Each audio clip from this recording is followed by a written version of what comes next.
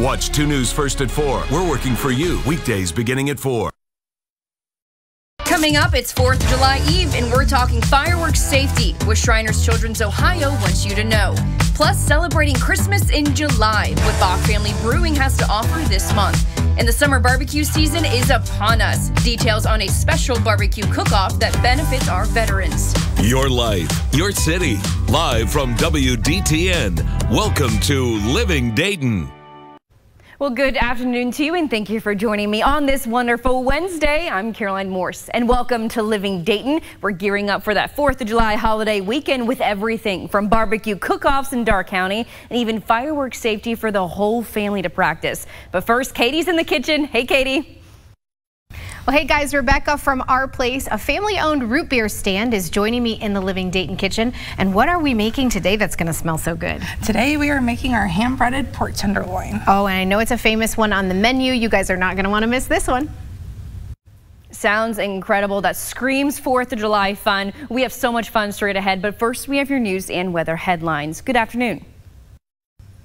Hey there, good afternoon. New information on a car crash in Xenia Township. One person is dead and another in critical condition.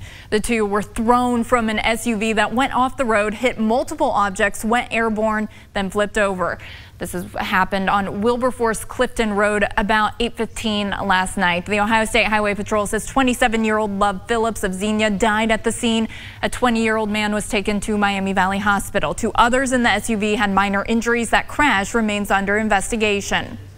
New information about the man found guilty of causing a deadly school bus crash in Clark County.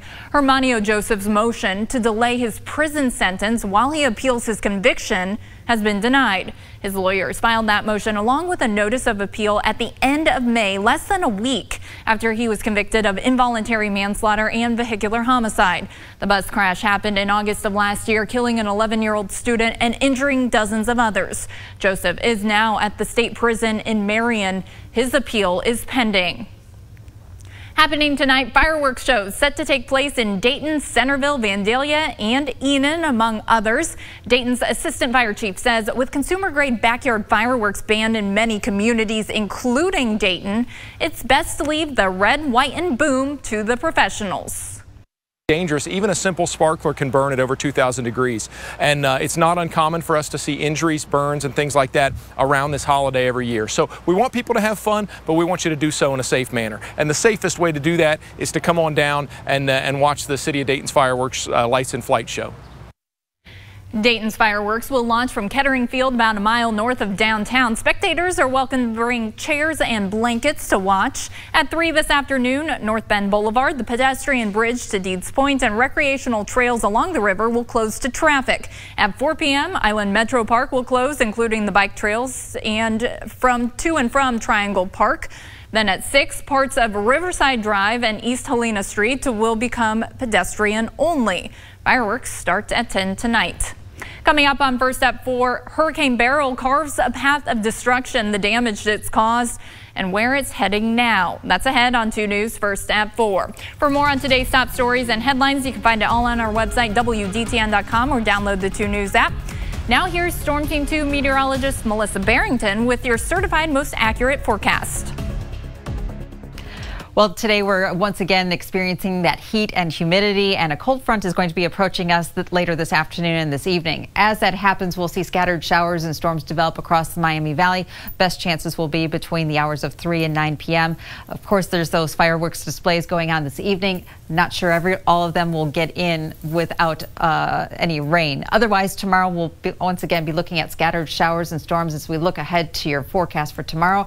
This afternoon, though, a slight risk of severe weather weather across the Miami Valley biggest threat is going to be due to high winds. So tonight for Independence uh, night here, lots of folks here are going to be out and about checking out those fireworks displays. Temperatures dropping down into the upper 70s. Hopefully we are able to get most of those fireworks displays in with those chances of showers and storms. Your planner for the rest of the afternoon is going to be hot and humid. Today's high right around 91 degrees. Those winds could gust as high as 30 miles an hour. After today, we're looking at temperatures in the 80s over the next several days with chances of showers and storms through Friday and then once again next week.